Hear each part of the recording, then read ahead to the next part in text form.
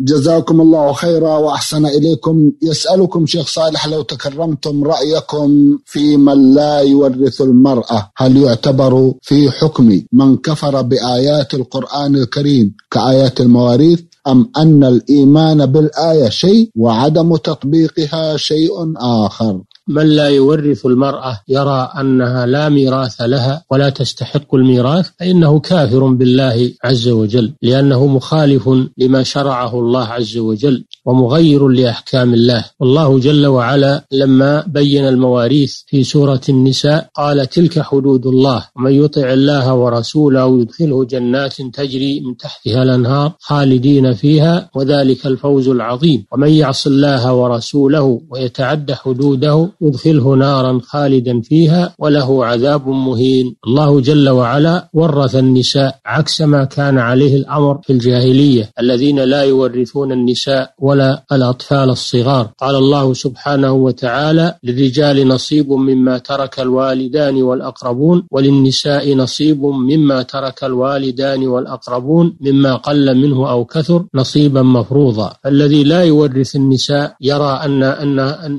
أن أنه لا لا حظ لهن في الإرث فهذا كافر بكتاب الله عز وجل ومتعد لحدود الله عز وجل نعم